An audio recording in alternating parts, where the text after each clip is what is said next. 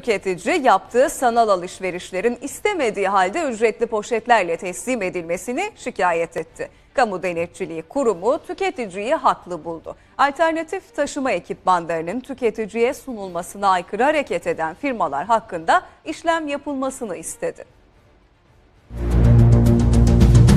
Pandeminin başından bu yana kullanımı artan sanal alışveriş sitelerinin birçoğu teslimatı ücretli poşetle gerçekleştiriyor.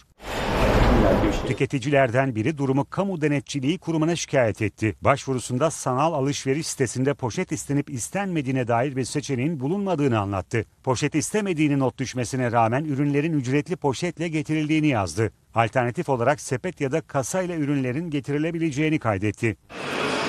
Kamu Denetçiliği Kurumu tüketiciyi haklı buldu. Yasadaki uzaktan satışlarda alternatif taşıma ekipmanı kullanım seçeneği tüketiciye sunulur maddesi hatırlatıldı. Alışveriş sitelerinde taşıma ekipmanlarının seçenekler halinde sunulması gerektiğini kaydetti.